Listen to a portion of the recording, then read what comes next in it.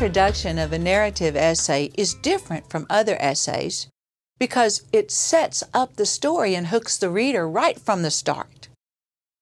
There are no rules with a narrative introduction, and you may have an introduction that answers the prompt, but it doesn't have to be a formal thesis unless your teacher or professor asks for one. Be creative. Here are some ideas. Start with a flashback, something that happened when you were young. Start with an internal monologue. What was going through your mind?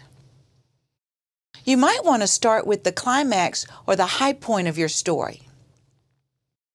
Or you may start by describing the setting, the time and place. If there's a conflict, describe it in the first sentence. Or you might want to start with dialogue between you and someone else. Start with a startling fact or statement.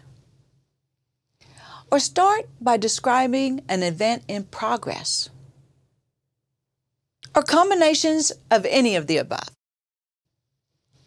You could start by reading a letter or note you found or saved from the past.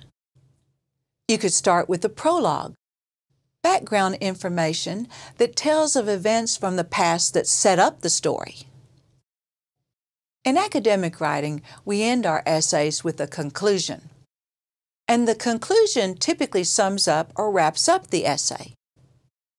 But with the narrative, the story that you are telling actually comes to an end, so a lot of details need to be wrapped up. In general, the conclusion of a narrative will reveal the end of a conflict. It may also reveal a lesson learned or an insight gained by you or the characters from the experience. The ending of a narrative is your opportunity to leave your reader understanding his or her own life lesson as well through your eyes. Here are some more ideas for your conclusion. End with your feelings about the event. For example, end with a prediction or advice. You can end with a summary statement. Or you might want to end with the famous quotation end with what was learned through the experience. You might want to end with a celebration or a realization what was gained or what was lost. Another technique is to consider the following ending helpers. You won't use these actual words in your writing. Rather, just think them before you write the answer. How would you or your main character respond if you or he or she were to say, I never realized that. I discovered that. I have learned that.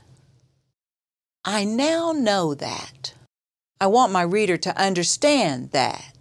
Sometimes a writer must try out several endings to see which one works best.